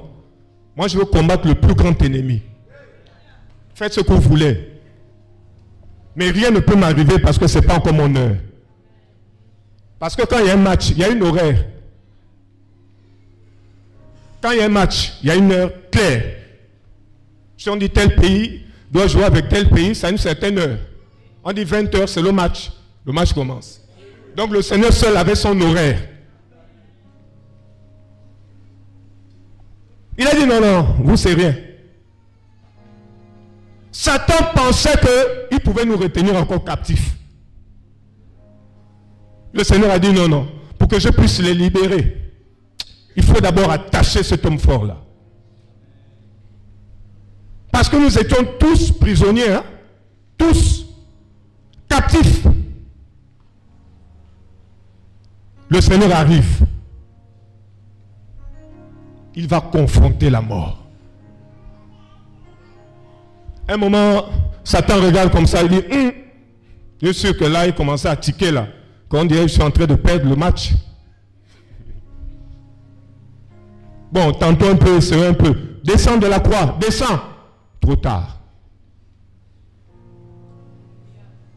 Il est resté là à la croix. Il a dit, je dois aller jusqu'au bout. Parce que tu dois être libre. Je dois achever la mission. Parce que tu dois être libéré de tes maladies. Parce que tu dois être libéré de la mort. Tu dois être libéré des traditions. Tu dois être libéré de l'esclavage du péché. Il a dit, je vais aller jusqu'au bout. Parce que je dois libérer des Chinois. Je dois libérer des Africains. Je dois libérer des Européens. Je dois libérer des Asiatiques. Il est allé. Oh frère, il est mort. Mais le match n'était pas fini. Il faut aller jusqu'au bout. Jusqu'au bout. Ils l'ont enterré. Ils ont roulé la pierre. Ils ont dit, c'est bon. On peut continuer à garder tous ces esclaves-là. Allez, toi, reste là. Toi, ne bouge pas. Ils nous ont retenus captifs. On était tous prisonniers. Satan nous retenait captifs. Pendant ce temps, le Machia, il est là-bas, sous terre. Il accomplit encore un travail particulier là-bas. Il est trop fort. hein. Satan, pendant qu'il est enterré, Satan pense que euh, voilà la mission est finie. Non, il n'avait pas fini. Trois jours après, la Bible dit un ange est descendu. Il a roulé la pierre. Allez-y. Un ange a roulé la pierre. Les gardes qui étaient là sont tombés, raides morts. Quand ils sont rentrés, quand les disciples sont rentrés, le tombeau est vide. La liberté est acquise. Le tombeau est vide. Vide. Il est vivant. Il est ressuscité des morts. Il a vaincu la mort. La mort a été vaincue. Waouh! Il t'a rendu libre. Libre totalement. Libéré. Waouh! Ressuscité des morts. Waouh! Il est merveilleux. La mort a été vaincue. Ô mort, où est ta victoire? Où est ta victoire? Vous mais on se moque de la mort. Où est ta victoire? Où est ta victoire? Voilà pourquoi en tant que disciple, on n'a plus peur de mourir. On sait où on va. Puisqu'il a ouvert la porte. La porte du ciel. La Bible dit a vaincu les dominations, les autorités, les principautés, tous les démons que vous connaissez, ils ont été vaincus. Le vaudou a été vaincu. Le djembé, l'esprit, tout ça, ça a été vaincu. Le pouti a été vaincu. La franc-maçonnerie a été vaincue. Toutes sortes de démons ont été vaincus. Le vaudou est vaincu. Ça dit que même si le Seigneur t'envoie annoncer l'évangile dans un pays vaudou, un village vaudou, il faut savoir que le vaudou est vaincu. Ils vont faire leurs incantations là, tout ça. Non, non. Celui qui est en toi est plus grand que celui qui est dans le monde.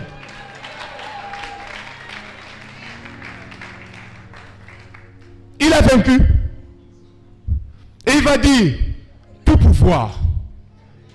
Oh, vous-même vous connaissez même.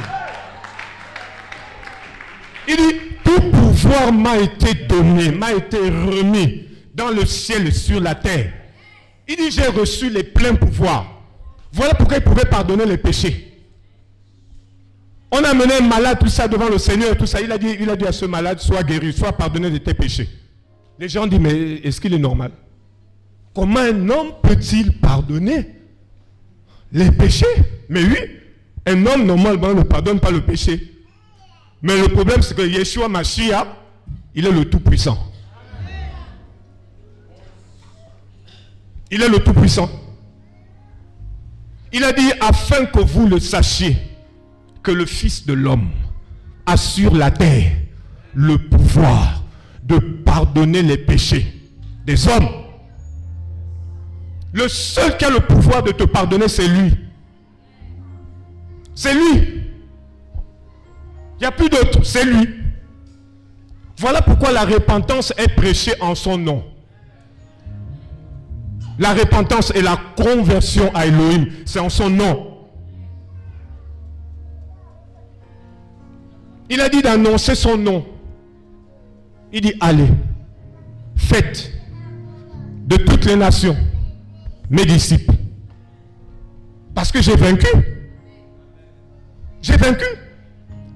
Le diable est un serpent à la tête coupée. Il est là, il s'amuse juste. euh, mais la Bible dit, il sait qu'il a peu de temps. Satan a peu de temps. Oh Seigneur, il est merveilleux. hein. Et dans son pouvoir, il dit encore, je vais revenir. Je vais revenir.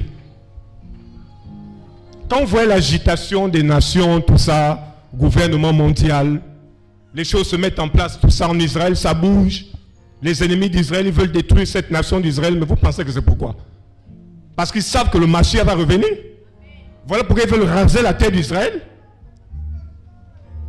Zacharie a prophétisé que le Mashiach viendra, il posera ses pieds sur la montagne des Oliviers. Et la montagne va se fendre. C'est terrible. Son retour éminent, voici pourquoi Satan s'agite. Il est agité. Il est, la Bible dit, il est en colère. Il n'oublie pas sa défaite. Donc quand il te regarde là, il est en colère. Parce qu'il se dit, mais comment tu as pu échapper de mes mains? Et toi, tu vas encore retourner chez lui. Le Seigneur vient te libérer, toi tu dis non, moi je retourne. Ah Tu peux retourner chez celui qui a failli t'assassiner. Il y en a, ils sont retournés. Hein? La liberté. Oh Yeshua. Il a accompli quelque chose d'extraordinaire. Le monde a connu des grands hommes. Nelson Mandela, euh, Gandhi, des hommes qui se sont battus pour euh, une certaine liberté. Ils sont morts. Mais ils n'ont rien fait d'exceptionnel. Celui qui a fait quelque chose de grand, c'est Yeshua Mashiach. C'est lui. Parce qu'il a libéré les hommes. Souvenez-vous du fou de Gadara. Il était enchaîné. Il avait des chaînes. Vous savez, il pouvait se libérer de ces chaînes. hein. Lui-même. Mais les démons là, il ne pouvait pas. Il ne pouvait pas se libérer de lui-même, de ces démons-là. Les chaînes physiques, il pouvait. Il pouvait enlever. Mais les démons qui étaient en lui, ça c'est un autre combat qu'il ne pouvait pas remporter. Voilà pourquoi lorsque le Seigneur a apparu, le Seigneur l'a rendu libre. Partout là où le Seigneur passait, il rendait les hommes libres. Libres. Parce qu'avant sa venue, les gens étaient dans l'esclavage. L'esclavage de la maladie. L'esclavage du péché. Les gens étaient liés. Acte 10, 42. On va lire ce passage. Acte chapitre 10, verset 42. Ok. Acte chapitre 10, verset 42.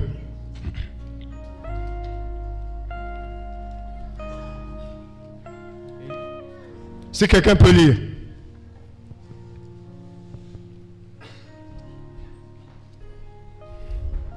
Oh Seigneur, merci.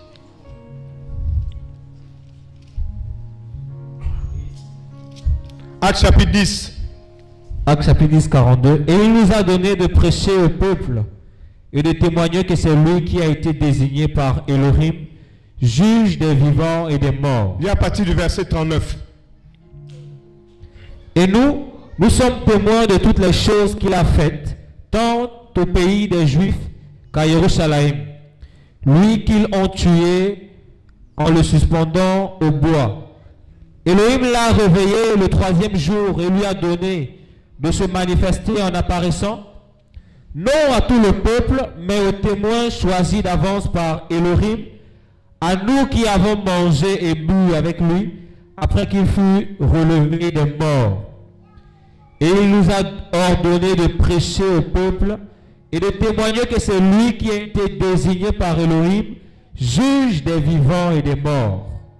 Tous les prophètes rendent de lui le témoignage que quiconque croit en lui reçoit le pardon de ses péchés. La Bible dit tous les prophètes rendent de lui le témoignage. Tous les prophètes que celui qui croit en lui reçoit le pardon de ses péchés. Voici celui qui pardonne, celui qui rend libre, c'est Jésus-Christ. Il peut aussi te pardonner. Il peut aussi te purifier, te nettoyer, te laver complètement comme il nous l'a fait. Il le peut. Il peut te pardonner tes iniquités, tes erreurs, il pardonne. Tes transgressions, il pardonne. Il peut le faire. Et il va le faire. Si seulement tu ouvres ton cœur pour recevoir son pardon, pour recevoir sa grâce, il pardonne. Il pardonne. La liberté. Il guérit. Il est venu guérir tes maladies. Il est venu te restaurer. Il est venu restaurer ton cœur brisé. Tu as été blessé, tu as été cassé. Le Seigneur est venu guérir ton cœur. Le guérir. Tu as du mal à pardonner. Le Seigneur est venu afin que tu puisses libérer le pardon. Il guérit ton cœur. Il libère. Est-ce que tu veux faire certainement la paix avec lui? Si tu ne l'as pas encore fait, bien sûr, il peut te pardonner. Si tu veux faire la paix avec lui, n'hésite pas à te lever. Le Seigneur pardonne. Le Seigneur purifie. Ton cœur est brisé, ton cœur est blessé. Le Seigneur purifie. Il guérit ton cœur brisé. Il le restaure. Tu n'arrives pas à pardonner, le Seigneur restaure ton cœur. Il le pardonne. Tu veux changer de vie, tu vas avoir une nouvelle vie, le Seigneur te guérit. Il te restaure. Saisis sa main. Saisis sa main. Dis-toi que c'est possible de changer de vie. C'est possible. C'est possible. C'est possible. Il te guérit. Il te restaure. Il te purifie. Oh Seigneur, tu es merveilleux Seigneur. Tu veux faire la paix avec le Seigneur, lève-toi. Tu n'as pas encore fait la paix avec lui, lève-toi et fais la paix avec lui. Parce qu'il t'aime. Il t'aime. Il guérit ton cœur brisé. Il guérit ton cœur brisé. Il guérit aussi les maladies. Si tu es malade, lève-toi, on va prier. Peu importe la maladie, le Seigneur guérit. Il guérit.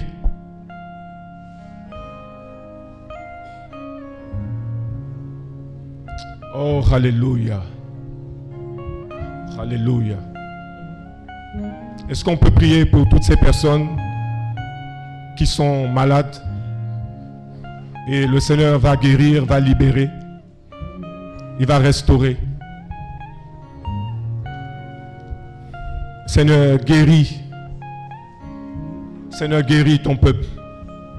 Seigneur, guéris toutes ces personnes malades, quelle que soit la maladie. Seigneur, nous avons parlé de la liberté. La liberté. Seigneur, je prends autorité et je commande à toute maladie de s'en aller au nom de Yeshua Mashiach. Seigneur, je prends autorité sur la maladie. Seigneur, toutes sortes de maladies, qu'elles soient incurables ou pas, Seigneur, tu es capable de guérir. Tu es capable de libérer. Libérer. Seigneur, tu poses ta main sur toutes ces personnes atteintes de maladies. Tu poses ta main, Seigneur, sur ces personnes. Tu restaures, Seigneur. Tu restaures. Toute maladie, Seigneur, ce soir, tu guéris. Tu guéris toute maladie. Tu guéris par ta puissance, tu guéris. Tu guéris le sida, tu guéris. Tu guéris les hémorroïdes, tu guéris. Tu guéris, Seigneur, tu guéris. Tu guéris les cancers, tu guéris. Oh Seigneur, tu guéris. Seigneur, toi seul connais ce que ces personnes vivent. Toi seul connais le nom de ces maladies. Seigneur, accorde la guérison. Console les cœurs. Seigneur, tu vois leur souffrance depuis des années. Depuis des années, Seigneur, je t'en supplie ce soir, apporte le soulagement et la consolation. Seigneur, essuie les larmes. Essuie les larmes. Seigneur, elle a beaucoup prié, Seigneur, par rapport à ce que tu connais. Seigneur, essuie les larmes. Essuie les larmes, Seigneur. Essuie les larmes. Essuie les larmes. Oh Yahweh, tu guéris, tu restaures. Je prie, Seigneur, que toutes ces personnes malades, Seigneur, constatent la guérison. Qu'elles constatent la guérison et la restauration. Je prie, Seigneur, que tu agisses par ta puissance, Seigneur. Tu nous as rendus libres. Guéris. Guéris ton peuple. Guéris ton peuple. Guéris ton peuple, Seigneur. Guéris ton peuple. Guéris. Guéris, Seigneur. Libère complètement, Seigneur. Libère. Libère, Seigneur. Libère. Guéris, Seigneur, le mal de cœur. Guéris. Guéris le mal de cœur. Guéris l'apostate. Guéris. Seigneur, guéris. Guéris le mal de dos. Guéris. Guéris le mal de pied. Guéris. Seigneur, tu guéris. Tu guéris. Tu restaures, Seigneur. Merci, Adonai. Merci, Seigneur. Merci, Seigneur. Merci. Merci, Seigneur. Le Seigneur a guéri plusieurs personnes ce soir. Alléluia.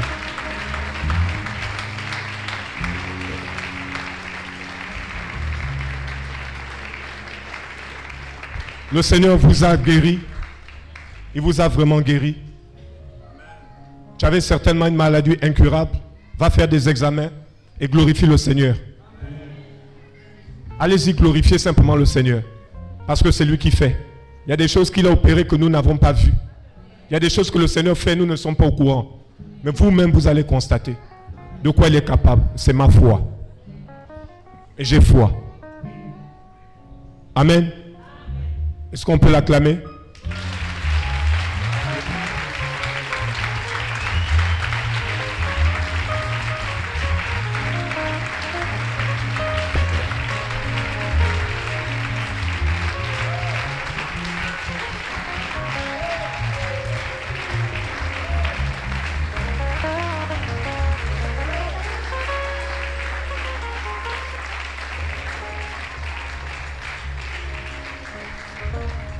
Le Seigneur va faire euh, pour les couples, il va faire enfanter beaucoup de couples cette année. Le Seigneur va le faire.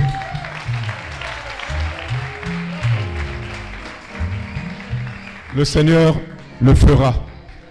Parce que le Seigneur a vu votre fidélité. Il a vu votre intimité profonde avec lui. Malgré les combats, les attaques, les tentations, vous n'avez pas cédé. Le Seigneur va répondre à votre foi. Et il agira. Il n'est jamais en retard. Le Seigneur est toujours à l'heure. Amen. Voilà, que le Seigneur soit béni. Donc, euh, je ferai juste une annonce puisqu'on a fini. Euh, voilà. On a fini pour euh, Libreville ces deux jours. Et donc, on continue la mission à Franceville, dans le Haut-Togoué. On s'en va pour une semaine. On n'est pas fatigué. hein. On continue à prêcher l'évangile. Donc, on a une mission à Franceville du jeudi 22 au dimanche 25. Donc, pendant quatre jours, nous serons à Franceville. Il y a une équipe qui part demain en train, une autre équipe mercredi. Donc on va à Franceville aussi pour une mission de quatre jours. On va prêcher l'évangile. On ne sait pas ce que le Seigneur va faire là-bas, mais on s'en va. Il n'y a pas un programme défini. hein. Quand on s'en va quelque part, on s'attend au Seigneur. Et quand on va en mission, ce n'est pas, pour accompagner- c'est pas pour accompagner un homme, c'est pour aussi aller travailler par rapport à l'œuvre du Seigneur. Amen. Voilà, donc on s'en va en mission demain. Moi, je m'en vais demain. Je prends le train. Et euh, on a quatre jours à Franceville. Après, on continue à Mwanda. On va faire deux jours là-bas, du 26, mardi 26 et mercredi 27. Donc la mission termine le 28. Amen. Donc pensez à nous dans vos prières. Hein? Hein? Ou bien? Pensez à nous dans vos prières. On va vraiment là-bas par la foi, quoi. On ne sait pas ce que le Seigneur va faire. Et puis, euh, voilà. On sait qu'il va toucher des vies. Et pour vous faire rapidement ce témoignage, il y a même déjà certaines personnes que le Seigneur commence à toucher. Il y a quelques jours, il y a, un oncle qui m'a appelé pour me dire, quand vous allez arriver, il y a le, DG, de, directeur général d'un hôpital à Franceville. Je préfère ne pas dire le nom puisque c'est en direct. Le DG d'un hôpital, tout ça, qui veut nous rencontrer par rapport à la parole, tout ça. Donc on voit vraiment ce que le Seigneur va faire. Le Seigneur va faire. Donc pensez à nous dans vos prières. C'est le plus important. Et euh, ceux qui ont à cœur d'y aller en mission, ben, ceux qui ont à cœur d'aller à Franceville, il faut voir le frère Wallace. Voilà. Parce qu'en ce moment, on est près de 7-8 personnes. Donc ceux qui ont à cœur d'aller, c'est libre, hein, c'est ouvert. Ceux qui ont à cœur d'aller, ils peuvent voir Wallace. Tu payes ton billet. Quand tu arrives là-bas, tu te débrouilles. Ou bien Non, c'est. faut pas dire je m'en vais par la foi. faut chercher l'argent. Tu payes ton billet. Non, c'est pour rire. En tout cas, on peut s'organiser. hein. Voilà, on peut s'organiser. Si tu as un peu peut-être d'argent, tu peux aider ton frère qui veut aller en mission. Pourquoi pas? Donc, euh, mais sinon, soyons organisés. Amen. Un chrétien, il est aussi responsable. Il ne va pas juste comme ça, tout ça. Après, il va se plaindre. Oh non, puis là, on ne m'héberge pas. Mais qui t'a appelé? Amen. Donc, c'était ça. C'était juste ça l'annonce. Donc, euh, si vous êtes à Franceville, si vous avez des parents là-bas, ben, invitez-leur. Samedi et dimanche prochain, on sera à la salle de la mairie du 3e arrondissement de Franceville, au quartier Matebele ou Mangungu, tout ça, vous choisissez. Donc on sera là-bas. Et euh, samedi et dimanche prochain, si vous avez des parents, ben, invitez. Voilà, le Seigneur est capable d'agir. Voilà, donc c'est ça. Nous sommes une armée. hein. Nous sommes une armée et on va en guerre. On veut voir Franceville touchée. On veut voir Mwanda touché. On veut voir des âmes converties. Et il y aura des témoignages au nom de Yeshua. Alléluia. Ah frère, je préfère arrêter.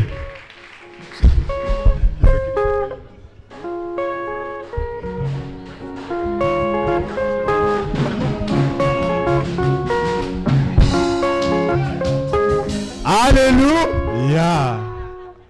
On a terminé pour ce soir et pour le programme à Libreville. Est-ce qu'on peut juste acclamer le Seigneur, se lever et acclamer le Seigneur?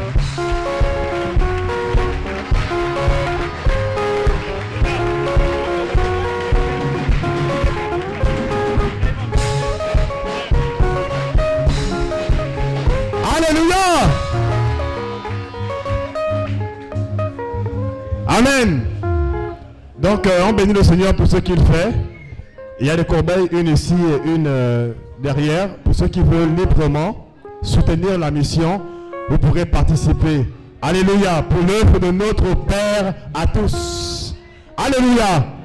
En même temps, je crois qu'il y a beaucoup de, beaucoup de personnes qui été touchées et qui veulent donner leur cœur au Seigneur et qui ont besoin de prière. Rapprochez-vous de ceux qui ont des brassards orange là. Ils vont vous orienter. Amen. Alléluia. Donc, on se dit à la prochaine. Laissez les chaises. Ne touchez pas les chaises. Alléluia. Bonne soirée à tous.